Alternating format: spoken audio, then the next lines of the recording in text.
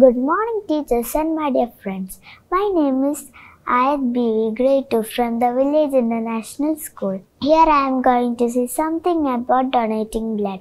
Blood donation is the most important social service to the humankind. As being a human, we must donate blood to save others' life. You can give smile to many faces by donating blood. So please donate blood and save life. Thank you and have a nice day.